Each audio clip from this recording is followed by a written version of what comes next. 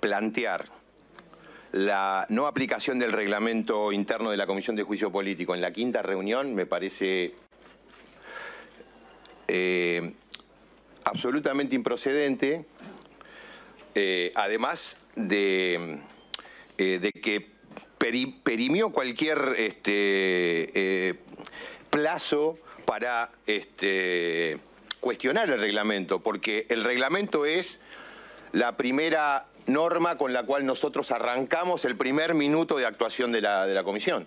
Esto que venimos advirtiendo desde la primera reunión de la Comisión de Juicio Político, con cada reunión se verifica y entonces nosotros seguimos juntando pruebas de que esta comisión funciona de manera ilegal, alterando el Estado de Derecho en la Argentina y que esto va a tener responsabilidades que se van a dirimir en organismos internacionales. Somos el primer canal de noticias desde el interior del país.